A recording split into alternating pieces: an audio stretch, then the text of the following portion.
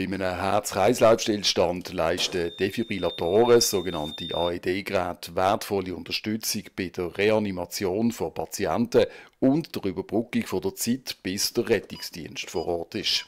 Nachdem in Rheinach Mitte April das erste öffentlich zugängliche AED-Gerät vom Gemeinshaus installiert worden ist, können mittlerweile schon fünf so Geräte über ganz Rheinach verteilt jederzeit in Betrieb genommen werden. Und weitere Geräte sollen folgen.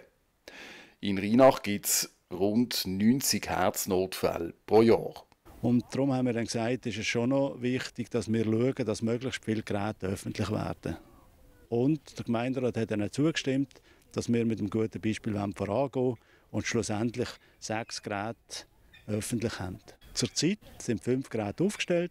Bei zwei weiteren sind wir noch in Verhandlungen äh, mit dem Grundeigentümer, sprich, wir sollten dort Strom haben und das ist nicht ganz einfach, weil die möchten dann Stromzähler und sauber abrechnen und so weiter. Und das ist einfach ein bisschen eine Kosten-Nutzen-Frage. Und beim zweiten äh, Standort, das ist das WBZ, die haben sich auch sofort zur Verfügung gestellt, aber die bauen Fassaden umbauen und wenn die Fassaden umgebaut ist, kommt dann dort äh, ein öffentliches Gerät an. Das WBZ sponsert eins von ihren Geräten, hängen das voraus und die Gemeinde der Kosten dazu.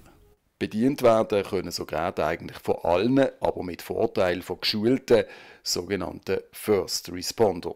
Also wir haben im Oktober 2019 gestartet mit dem First Responder System. Das ist ein System, das per App Leute, freiwillige Leute, Laienhelfer alarmieren und dann schaut das System, welcher von denen, der sich gemeldet hat, liegt am nächsten zum Einsatzort. Und die können dann ausrücken. Und es geht eigentlich darum, dass sie die Zeitfenster überbrücken vom Ereignisort, also vom Ereigniszeitpunkt, bis der Rettungswagen vor Ort kommt. Also dass wir einfach dort eine möglichst schnelle Interventionszeit haben. Im Moment ist es so, dass ein Rettungswagen halt doch einfach seine Zeit braucht, bis er vor Ort ist. Und wir haben pro Minute sinkt die Überlebenschancen um 10 Prozent. Also macht es deutlich, dass wir wirklich in der Rettungskette, in der Laienhilfe doch noch Gas geben Oder anders gesagt, also es ist so, ein Gerät kann nicht das Menschenleben retten. Es braucht immer jemanden, der das Gerät auch anwendet. Wir brauchen Laienhelfer, wie Sie und ich, die einfach bereit sind, das Gerät aus dem Kasten zu nehmen und zum Ereignisort zu rennen und dort die Zeit zu überbrücken. Die Situation mit den AED-Geräten in Rheinach ist gut, soll aber noch besser werden.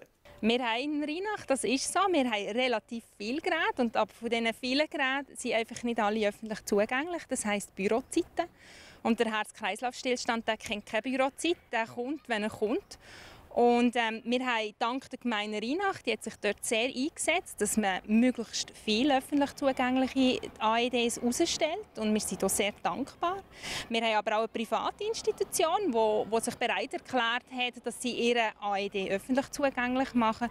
Und das sehen wir so ein bisschen auch in unserer AED-Beratung, dass man sagt, schaut, aufzeichnet, wie die Wichtigkeit von dieser Öffentlichkeit von diesen AEDs. Aktuell sind in den beiden Basel rund 1400 First Responder registriert. Weitere sind willkommen.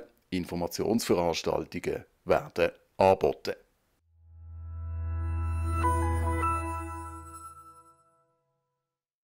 Die Gemeinde Rheinach wechselt per 1. Januar den Provider. Der Wechsel wird schrittweise vollzogen. Alle Rheinacher Haushalte bekommen in diesen Tagen auf dem Postweg einen offiziellen Brief von der Gemeinde mit diversen Informationen und Eckdaten zu dem bevorstehenden Providerwechsel, der für alle mit einem gewissen Aufwand und Anpassungen am Computer verbunden ist. Der neue Provider Improver mit dem Produkt breitband.ch wird zusammen mit der Gemeinde in den kommenden Wochen und Monaten regelmäßig über die etappenweise Umstellung informieren und aufzeigen, wo und wie Hilfe in Anspruch genommen werden kann. Für die optimale Kundenbetreuung wird ab dem 1. Oktober an der Hauptstraße 22 sogar ein temporäres Servicecenter betrieben, wo man sich kostenlos beraten kann.